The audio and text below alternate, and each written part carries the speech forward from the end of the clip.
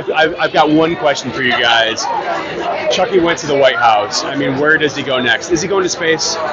You know, people keep asking that specific question. So then, like, my my response is to ask another question: Do you want him to go to space? Yes. Like, you personally want him to go? So, well, I feel like if there's enough of a demand for that, that we'll have to do that eventually. I don't know how quickly, but uh, you know, I have an idea for that. Okay, good. Here for it. Here for it. Thank you guys.